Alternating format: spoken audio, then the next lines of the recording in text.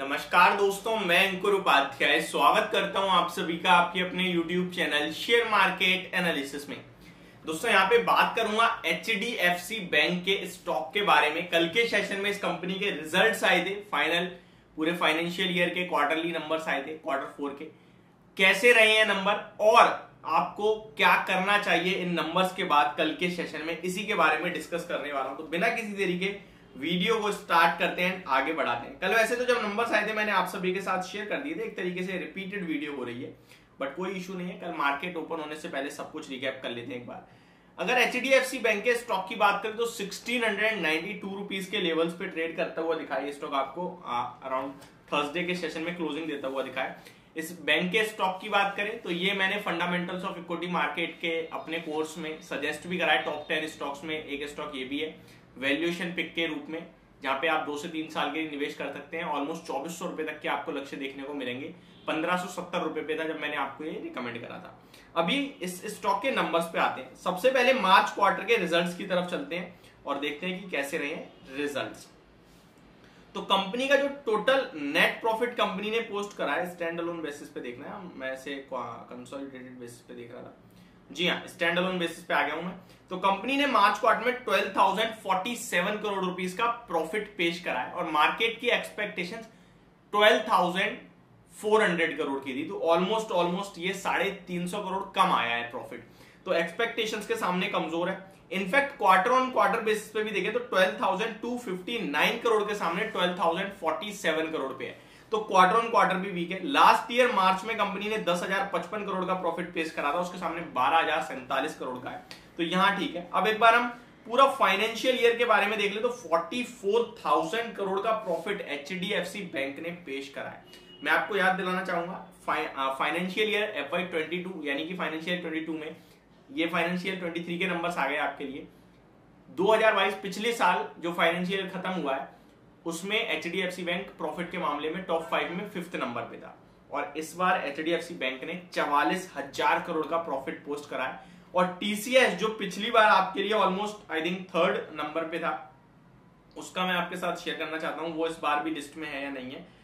वो लिस्ट में है लेकिन इस बार H D F C bank ने उसे पीछे कर दिया है। एचडीएफसी बैंक ने 44,000 करोड़ का प्रॉफिट पेश करा है और टीसीएस ने पूरे फाइनेंशियल ईयर में करंटली अराउंड आप देख सकते हैं यहाँ पे।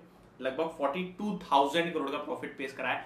पिछली बार टीसीएस आपके लिए नंबर फोर पे था आई थिंक और S C L tech H D F C bank number fifth पे था। इस बार H D F C bank ने टीसीएस को पीछे कर दिया। एक चीज़ तो हम देख पा रहे हैं तो H D F C bank का चवालीस हज़ार करोड़ का प्रॉफिट है। तो इस बार भी ये भारत की टॉप प्रॉफिट मेकिंग कंपनीज़ में पाँच टॉप फाइव में से एक नंबर डेफिनेटली आने वाला है एचडीएफसी बैंक का। एक बार रिलायंस के ओ के और टाटा स्टील जो कि पिछली बार था, इस बार तो मुश्किल लग रहा है। इनके नंबर और आ जाए तो फिर हम इनको टॉप फाइव से कंपेयर कर सकते हैं। ये मैंने एक ऐसी जनरल नॉलेज के लिए आपके साथ शेयर करा। अब आते हैं दोबारा से रिजल्ट्स के ऊपर, बाकी की चीज़ें कैसी दिख रही हैं। तो एच बैंक के प्रॉफिट में तो थोड़ी सी गिरावट आई है नो डाउट और नंबर्स थोड़े वीक ही दिख रहे हैं। एक्सपेक्टेशन से कमज़ोर है plus quarter on quarter basis पे भी कमज़ोर है। कंपनी ने डिविडेंड भी अनाउंस करा है। डिविडेंड के लिए रिकॉर्ड डेट क्या तय करी गई है, वो भी मैं आप सभी के साथ शेयर कर देता हूँ। पहले मैं आपको बता दूँ कंपनी ने जो डिविडेंड दिया है वो उन्नीस रुपए पर शेयर का है। तो डिविडेंड तो अच्छा दिया है कंपनी ने, जिसके लिए रिकॉर्ड डेट फिक्स करी गई है सिक्सटींथ मई की, यानी कि 16 मई की रिकॉर्ड डेट है। तो आप फिफ्टींथ मई से पहले जो भी खरीदेगा वो डिविडेंड के लिए एलिजिबल है। अब आते हैं दूसरे आंकड़े के बारे में, यानी कि इंटरेस्ट ब्याज कितना बनाया है कंपनी ने? तो क्वार्टर फोर की बात करें तो interest and less interest expend around around company ने जो बनाया है वो रुपीज़ ट्वेंटी थ्री था I think interest and less interest expended अच्छा जो कमाया है ब्याज और उस, जिसमें से इंटरेस्ट बढ़ा दिया है, उसे हटा दिया जाए तो फिर एक्चुअली है।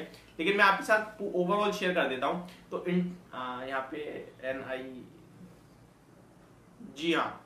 तो जो आपके लिए कंपनी ने इंटरेस्ट अर्न करा है, वहाँ पे एक्चुअली यहाँ पे ना interest earn less interest expended आ रहा है। जो ब्याज कमाई और जो ब्याज एक्सपेंड करिए बढ़ाई है, उसको देखते हुए जो अगर आप कंपेयर करोगे तो वो अराउंड अराउंड तेईस हज़ार तीन सौ इक्यावन करोड़ का आया अठारह हज़ार आठ सौ बहत्तर करोड़ के सामने इसका चौबीस हज़ार करोड़ का अनुमान था एक्चुअली में तो उससे कम आया grew twenty three point seven percent core N I M देखोगे तो फोर पॉइंट वन परसेंट पे है टोटल एसेट्स के हिसाब से and four point three percent है बेस्ड ऑन अर्निंग एसेट्स के हिसाब से।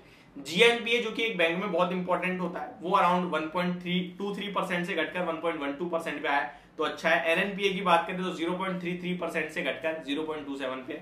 एच बैंक खैर एनपीए और जीएनपीए के मामले में तो हमेशा से अच्छी रही है। ओवरऑल नंबर मुझे थोड़े वीक लग रहे हैं और मे बी स्टॉक आपके लिए एक से डेढ़ परसेंट की नेगेटिव ट्रेड करता हुआ दिख सकता है। और अगर नहीं दिखता तो समझ लीजिए, जैसे क्वार्टर फोर के अपडेट्स के सामने खराब अपडेट्स पे भी स्टॉक पॉजिटिव रिएक्शन दे रहा था, वैसे यहाँ भी दे सकता है।